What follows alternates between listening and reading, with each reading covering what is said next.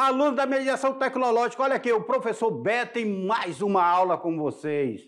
Pois é, vocês estão vendo como o primeiro ano ele faz uma viagem muito doida, assim, muito, muito rápida a viagem que nós fazemos no primeiro ano, porque a gente começa lá na pré-história, nós passamos pela Idade Antiga, sumérios, fenícios, caldeus, é, romanos, gregos. Chegamos na Idade Média, estudamos Reino Franco, Reino Germânico, estudamos sobre o que era o sistema feudal. E agora, nós já vamos fazer um processo de transição novamente, nós já vamos sair da Idade Média, já vamos entrar no Renascimento. Olha como a nossa viagem, vocês, se vocês não apertarem o cinto, vocês perdem o bonde da viagem, porque a palavra que eu coloco hoje para vocês, coloque a palavra do dia. Note aí a palavra do dia. A palavra do dia hoje é renascimento. Vocês já ouviram falar essa palavra renascimento? O que, que é renascimento? Ah, eu estou renascido. Não tem pessoas que se batizam na igreja e dizem, eu estou renascido em Cristo, essas coisas todas. Tem gente que diz, olha, eu tomei um banho, eu estou renascido. O que é a palavra renascimento? Só que para nós entendermos o que é renascimento, nós precisamos entender que contexto nós estamos. Será que os alunos ali do Lago Cunhã, que eu estava vendo aqui o comentário deles aqui no chat, será que esses alunos estão ligados o que é o renascimento? Será que meus alunos aqui do Baixo Madeira, de Nazaré, de São Carlos, de Calama, eles estão ligados o que é o renascimento? Será que meus alunos da ponta do Abunã aqui estão ligados o que é o renascimento? Nova Califórnia, Extrema, Vista Alegre, estão ligados o que é o renascimento? Então, acompanhe comigo cada momento desta aula de hoje, porque na tela de vocês, na tela de vocês aí, vamos lá, nós iremos ver na aula 18 o renascimento comercial e urbano. Renascimento do comércio e do artesanato, mercantilismo, cidade, burgos, novas classes sociais, comércio e, é, comércio e conflito com a igreja. Então, temos muito, são seis assuntos extensos para nós entendermos o que, que vem a ser renascimento que, que vinha a ser renascimento. Vem cá comigo nessa imagem aqui. Me acompanhe aqui nessa imagem. Imagine vocês. Vamos lá, fazer um, um apanhado histórico. Lembra que o Império Romano passou por uma série de invasões e as pessoas largaram a cidade e foram para o campo para se proteger? E com isso, a zona rural se fortaleceu e nós temos a instituição dos feudos, os feudos fez um processo de fragmentação, de divisão nessa sociedade que não conseguia se unificar.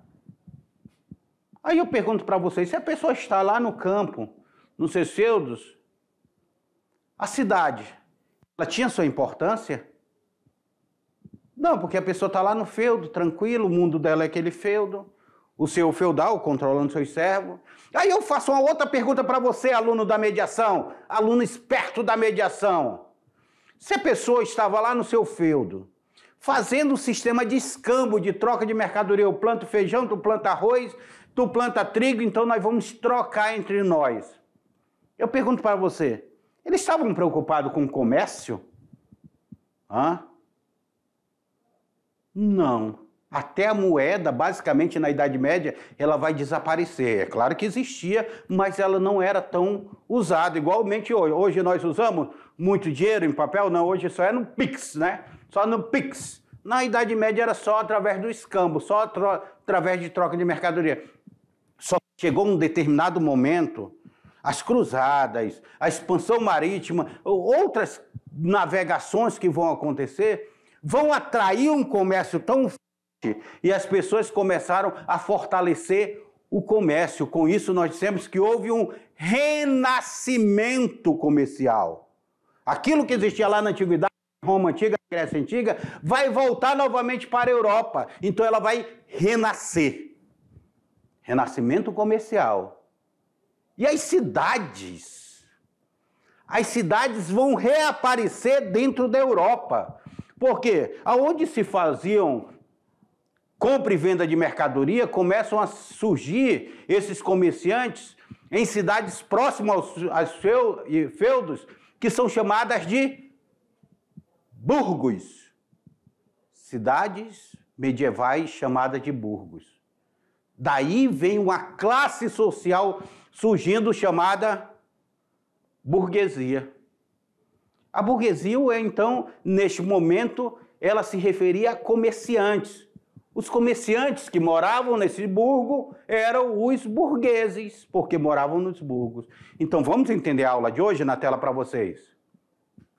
Na tela para vocês, porque o comércio ganhou significado e impulsionou com a melhoria dos meios de transporte.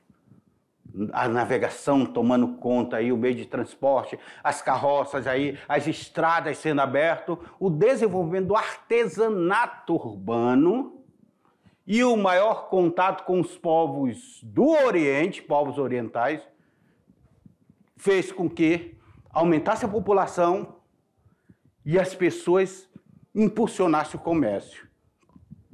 No ano 1000, nós tínhamos 22 milhões de habitantes na Europa. Já no ano de 1100, tínhamos 25 milhões de habitantes. 1.234 milhões de habitantes. Olha quando chega no ano de 1300, 300 anos depois, nós temos já mais que o dobro, nós temos 50 milhões de habitantes na Europa. A Europa ele, ela passa a ter um crescimento populacional muito grande. Porque além do comércio local, desenvolveram-se também grandes rotas de comércio internacionais. Nós destacamos duas rotas a rota do norte significa aquela que está lá em cima e a rota do sul, aquela que está ali embaixo. É claro que o, o geógrafo vai olhar para mim e vai dizer: opa, professor, não é bem em cima e embaixo, não. Mas é assim que nós vemos quando temos o um mapa aberto, como este daqui que está aqui atrás de mim. Tem esse mapa aqui? Lá em cima nós temos as rotas do norte. E aqui embaixo, principalmente pelo mar Mediterrâneo, nós temos a rota do sul. E por aqui era feita essa movimentação comercial. Uma movimentação muito grande dentro do comércio nas rotas do norte e rota do sul. Os europeus começaram a ter contato com o Oriente e começaram a ter contato com as especiarias. Tempero, gente. A Europa se encantou por causa de tempero. Dois viajavam longe atrás de tempero. E tá aí você usando sazon. Pelo amor de Deus, meus queridos alunos. Os europeus foram longe atrás de tempero. Vão, vocês vão ver mais para frente que eles enfrentaram foi o oceano nas grandes navegações atrás desse tempero. Então, eles começam a fazer um processo comercial. Com isso, nós temos o renascimento comercial. E com isso começam a aparecer as cidades, principalmente dentro dessas rotas comerciais. O renascimento urbano começa a aparecer aí. Vocês estão conseguindo compreender por que nós chamamos isso de renascimento? A Europa agora ela não está igual à Idade Média, todo mundo no seu feudo, muito bem, obrigado. Agora a Europa está em ebulição, ela está em movimento, ela está naquele movimento grandioso, porque esse movimento vai fazer com que o comércio aumente, vai fazer com que as cidades apareçam e se desenvolvam e vai fazer o surgimento de uma nova classe social. Agora, a classe social não é mais só o senhor e o servo, como era na Idade Média. Agora surge uma nova classe social chamada de burguesia. Burguesia, uma nova classe social. Dentro, coloque na tela para vocês. Olha aí, essas rotas do norte. Então nós temos a rota do norte.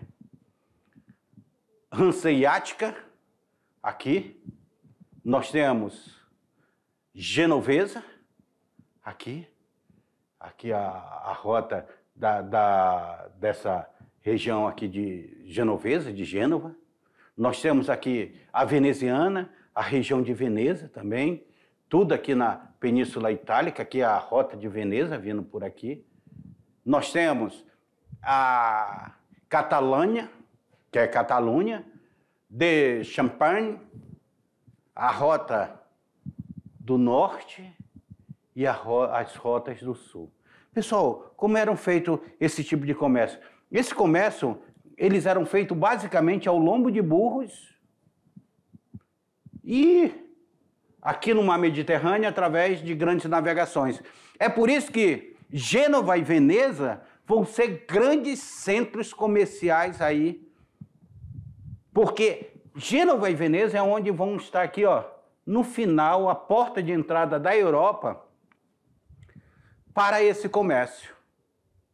A rota comercial do norte, realizada através do Mar do Norte, passava por cidades como Dantinsk, Lubeck, Hamburgo, Bremen, Bruges, Londres e Bordeaux. Liga Hanseática, Associação dos Países do Norte da Europa, em 1241. Em 1241, eles já fizeram uma liga juntando países que estão ao norte dentro dessa rota. Juntam países que estão ao norte. Hoje nós fazemos isso também com alguns países. Nós, nós temos aí a, nós temos os tigres asiáticos, nós temos o Mercosul, nós sempre buscamos juntar países aí. Nós temos os BRICS.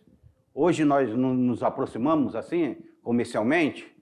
E a Rota Comercial do Sul, realizada no Mediterrâneo, tendo como ponto importante Barcelona, Marsella, Gênova, Veneza, que eu mostrei agora no mapa para vocês, Tunísia, Trípoli e principalmente Constantinopla. Vamos aqui olhar o mapa aqui, ó.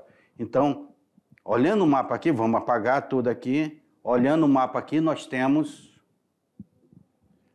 nós temos essa rota no, é, do sul que tem Gênova, Veneza, Marsella, Barcelona, todas essas cidades, Valência, todas essas cidades importantes para esse comércio da Europa. Os comerciantes mais atuantes foram os genoveses e os venezianos, que importavam especiarias, olha aí que são especiarias, cravo, canela, noz moscada, pimenta e artigos de luxo, como perfume, tecido, seda, porcelana, marfim, tudo do Oriente. Então, Está comigo, aluno. Imaginem vocês. Esses comerciantes descobriram que a Europa ela gostava desses produtos que vinham do Oriente. Então eles estão ali além de comércio, como é que eles vão buscar esses produtos? Eles vão começar a fazer comércio com o Oriente. A seda tinha até o caminho da seda que eles buscavam. Os chineses não deixavam sair o bicho da seda, porque a seda é, é de um bicho, lá eles não deixavam sair o bicho da seda para ir para a Europa, então a Europa tinha que comprar seda lá com eles. Naquele momento não tinha geladeira para deixar os produtos frescos, então eles utilizavam muito de tempero. E tempero servia para isso, justamente para isso para disfarçar o gosto ruim das carnes. Quer ver aquela carne que está apodrecendo? Como é que eu vou conservar ela um pouquinho? Mete tempero, mete pimenta do reino, mete sal ali, para ela ter uma durabilidade maior fora da geladeira. E aí ele descobre o cravo, a canela, noz moscada, a pimenta. Imagine o preço que eram esses produtos. Saiu lá do Oriente e chegava até a Europa. Lembrando que neste momento nós ainda não temos a rota comercial das grandes navegações que vão buscar diretamente na fonte. Por enquanto, os europeus ainda estão dependendo desse comércio de intermediário. Então, por cada porto que se passava, o preço ia aumentando. Era assim a característica. Vocês precisam entender esse contexto para quando vocês leem as questões do Enem ou as questões, vocês entenderem em que contexto nós estamos trabalhando a Europa dentro desse processo renascentista. É por isso que algumas pessoas achavam que renascimento só se referia à arte. Mas não. O renascimento ele tem a ver com o comércio,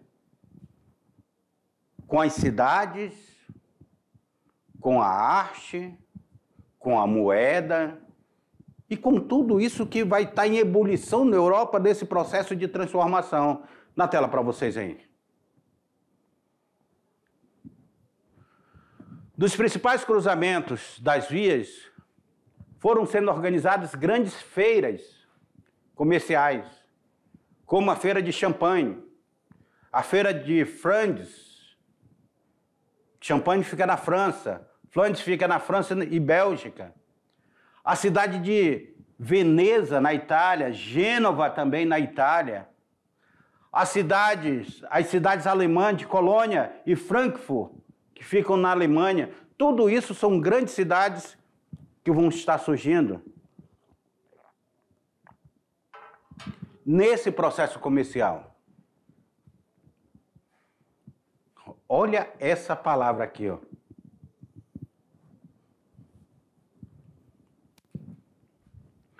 Olha essa palavra aí. O que, que reporta a vocês a palavra mercantilismo? Quando eu falo de mercantilismo, o que vem primeiramente na cabeça de vocês, hein? E aí? Não vem mercadoria? O sistema capitalista que nós conhecemos hoje, ele começa neste momento.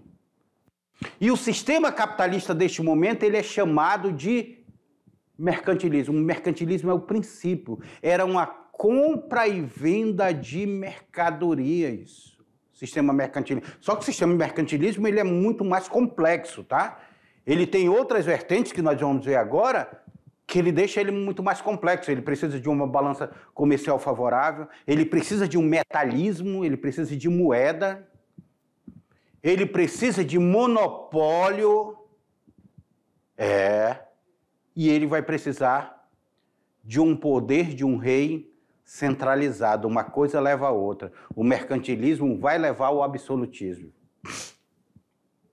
Então, esse sistema mercantilista ele está surgindo na Europa e começam a aparecer as grandes navegações que vão financiar, ser financiada pelo mercantilismo. A moeda que até então que a Europa estava deixando um pouco de lado, a moeda agora dentro desse renascimento, ela vai ter a sua importância comercial. Os países eles vão sair pelo mundo atrás de metais preciosos, vão atrás de metais preciosos na Ásia, vão atrás de metais preciosos na África. Só que a Ásia já estava dominada, eles vão até a África pegar metais preciosos para trocar de mercadoria na Ásia. E eles vão atrás de metais preciosos, sabe aonde? nas Américas. Os espanhóis descobrem metais preciosos aqui na América Central. Mas os portugueses, ao chegar nas Américas, onde hoje é o Brasil, eles não descobrem de cara metais preciosos. Mas eles têm outras mercadorias de grande valor aqui, que a gente vai estudando. Na tela. A política econômica do sistema capitalista, do capitalismo comercial ou mercantilismo, olha aí como eles são sinônimos. O mercantilismo é esse início do capitalismo.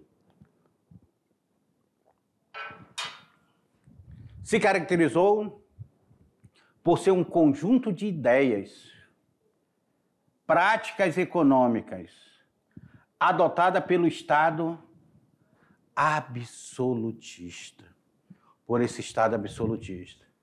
Pelo estímulo de expansão marítima e colonial e pelo estabelecimento do monopólio como prática mercantil. Deixa eu fazer um, um adendo aqui para vocês. Ficar comigo. Começa a surgir o sistema capitalista através do mercantilismo, esse renascimento comercial, esse renascimento monetário da moeda, vai lançar um novo comércio. Isso daí é o mercantilismo. E o mercantilismo, que é essa vertente econômica do capitalismo, ele vai caracterizar, ele vai ter um conjunto de outras ideias que eu falava ainda agora para vocês. Primeiramente, ele precisa de metais preciosos essa prática econômica dele, é necessário metais preciosos.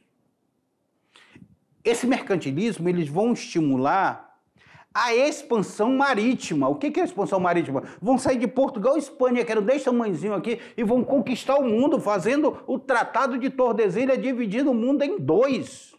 Vocês têm ideia disso? Dividir o mundo em dois.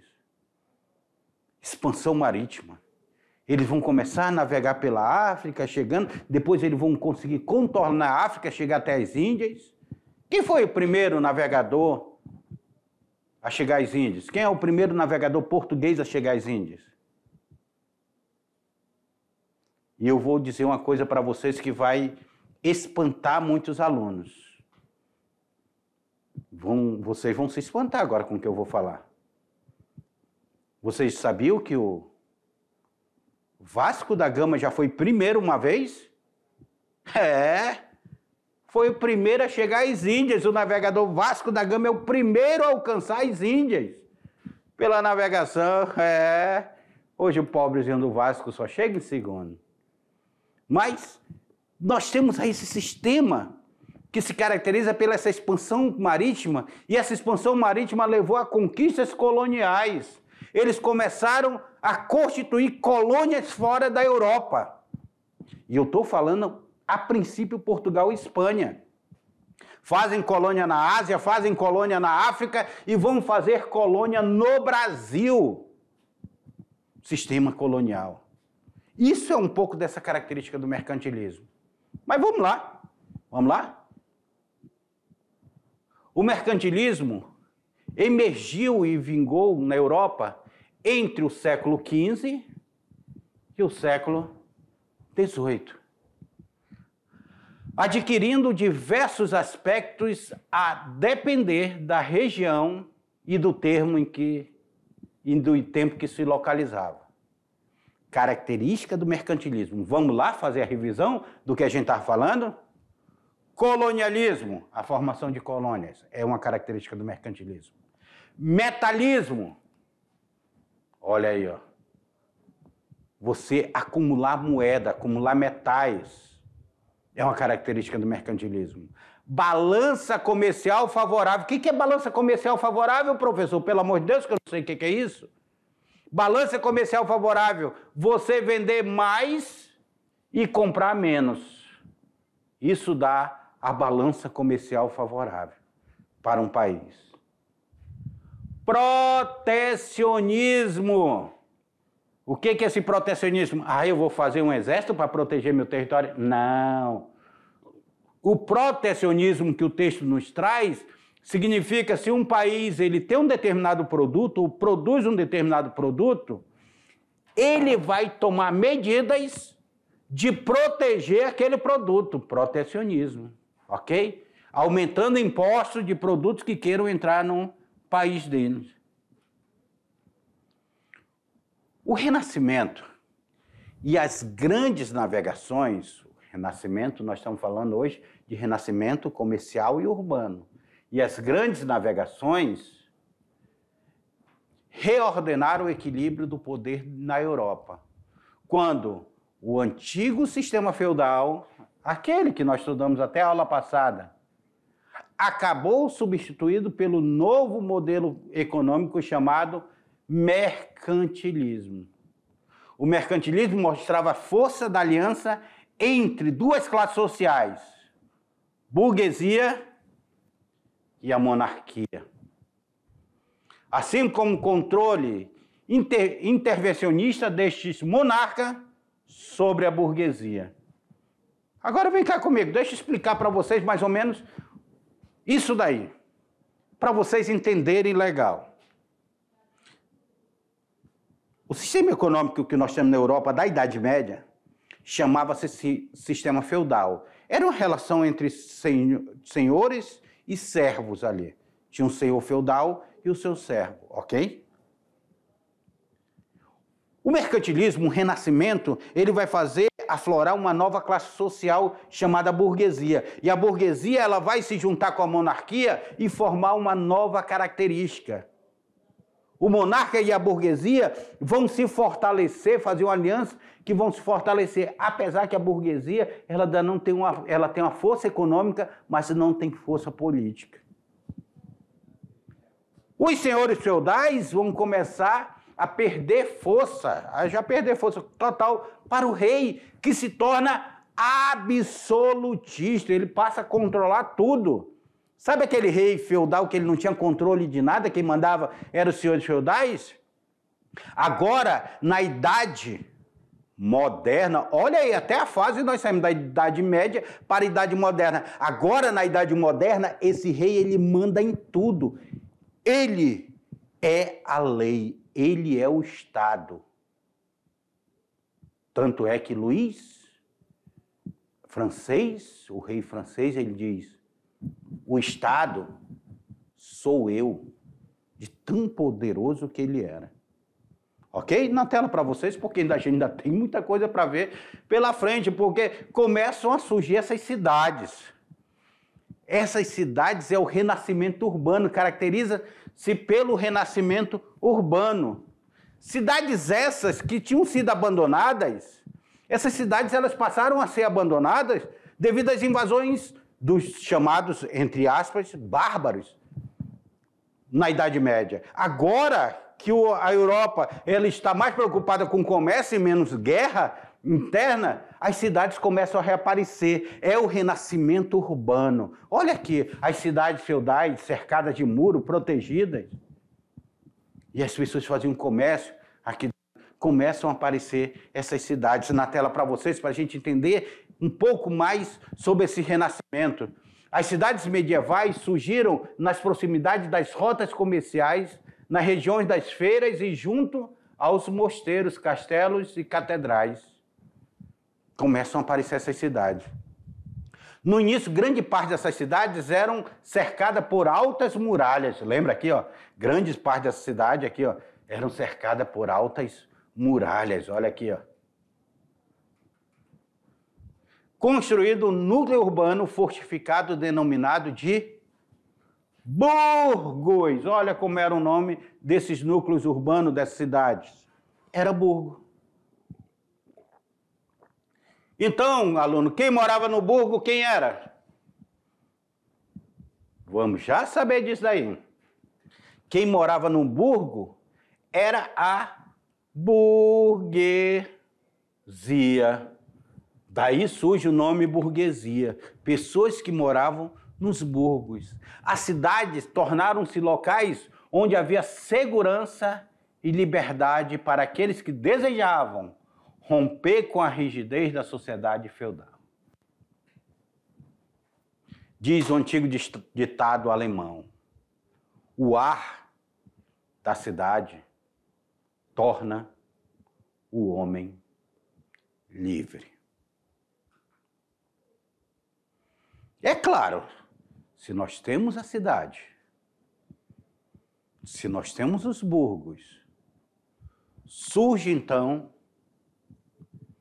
essa nova classe social. E essa nova classe social é chamada de burguesia burguesia. Burguesia. Ok? Estão conseguindo compreender? Burgo burguesia. Novas cidades, novo comércio, nova movimentação, nova filosofia, nova forma de pensar, nova forma de se organizar, nova classe social nova forma econômica, não é mais o sistema feudal, agora é o sistema mercantilista. Olha o processo de transformação que a Europa está passando neste momento. É por isso que os historiadores, posteriormente, ao analisar esse período, vão chamar de renascimento. Vou chamar de renascimento. É o renascer, é o florir, reviver na tela para a gente entender. Então nós temos os habitantes que viviam nos burgos, basicamente comerciantes e artesãos, eram chamados de burgueses. Agora dá para compreender melhor a leitura do texto. Muitas cidades pagavam impostos aos senhores feudais. Os senhores feudais, ah, para sua cidade ficar na minha terra, eu preciso recolher imposto dessa cidade. Em troca, os burgueses exigiam de livre, de livre, direito de livre comércio, proteção militar, liberdade entre os cidadãos. Professor, mas daí não é, não é, é o papel da milícia? Não é que parece papel de milícia? Olha, te dou proteção, mas tu tem que pagar para mim. Está parecendo o papel das milícias. Mas não, mas os senhores feudais, como eles estavam dentro das terras, e essas cidades elas começaram a aparecer próximo aos, aos feudos, os senhores feudais vão dizer, olha, para a sua cidade ficar aqui, e eu autorizar a sua cidade ficar aqui, vocês vão ter que pagar imposto desse comércio que vocês estão fazendo. Vocês estão fazendo comércio, então eu tenho que receber esse imposto. Seu feudal começou a receber. E depois, quando se torna um sistema absolutista, quem vai receber esse imposto vai ser o rei. Deixa de ser o seu feudal. Ou o seu feudal recolhe da cidade, mas ele tem que repassar parte desses impostos para o rei. Então, esses burgueses que vão surgir aqui nesse momento, eles surgem nessas organizações sociais chamadas de burgos, essas cidades. Aluno, lembrando a vocês, aluno e professores, qualquer dúvida que tiver na aula, o professor de vocês tem nosso contato direto através do nosso chat. Chat, chat, chat, né? Não tem? Através do WhatsApp, através do nosso chat WhatsApp lá, o professor tem contato com vocês através do Instagram. Entre lá no nosso Instagram, professor Beto Reis, lá que vocês vão ter contato também com o professor, acompanhar lá nossas aulas, a postagem de nossas aulas. Acompanhem lá, gente, porque na tela para vocês aí. Voltando aí. O comércio de conflito com a igreja foi muito sério. Por quê?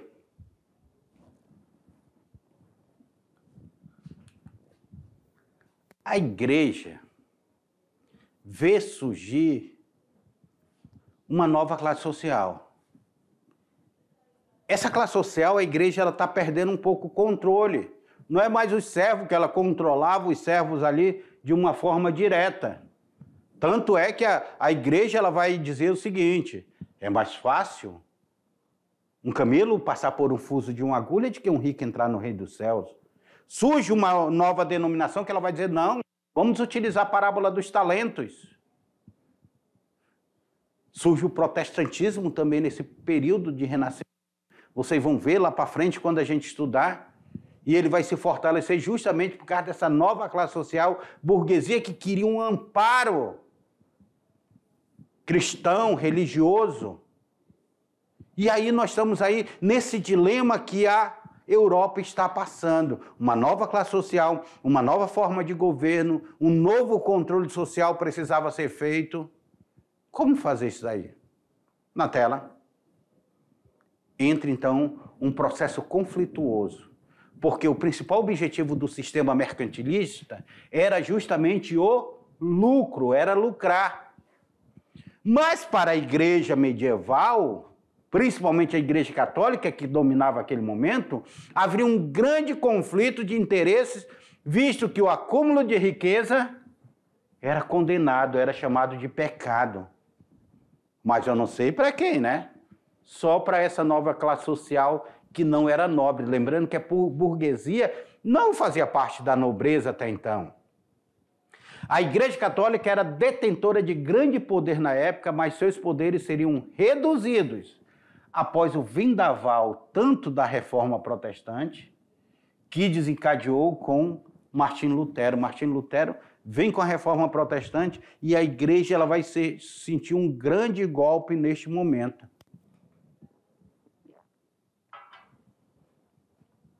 A própria Igreja Católica era extremamente rica.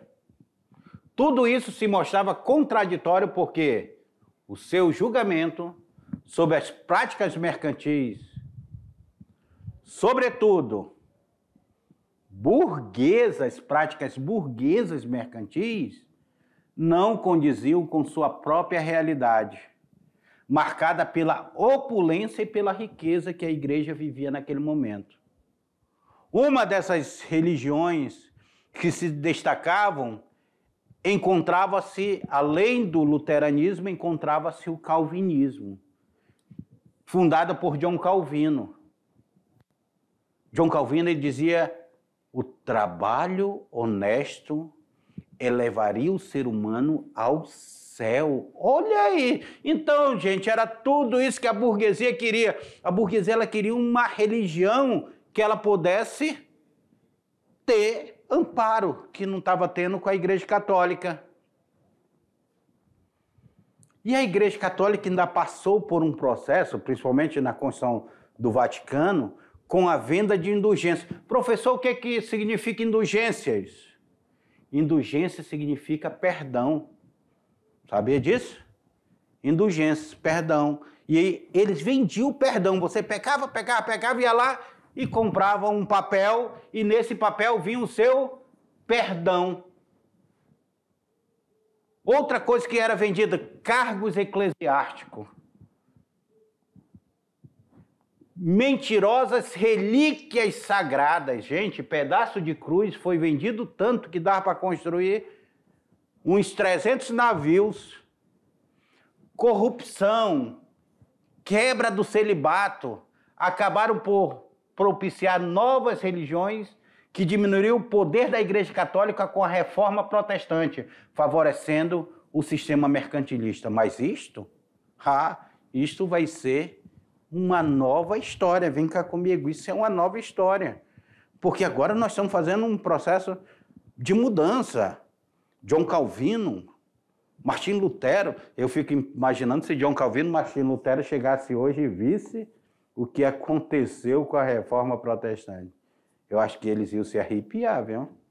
Tá? Então nós temos aí John Calvino, Martin Lutero aí fazendo um processo de, olha, eu vou condenar aquilo que está acontecendo na igreja e nós vamos fazer algo diferente.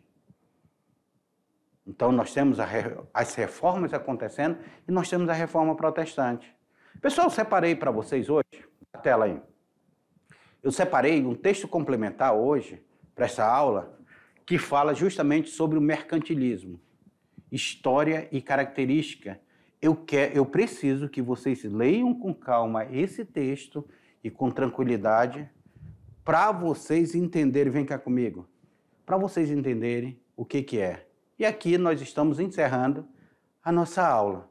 Nossa aula, ficaremos por aqui, dentro dessa jornada. Espero que vocês tenham entendido um pouco sobre renascimento, comercial, renascimento urbano, sobre mercantilismo, absolutismo, o, a reforma protestante que está surgindo aí e essa transição que estamos saindo da Idade Média e entrando na Idade Moderna.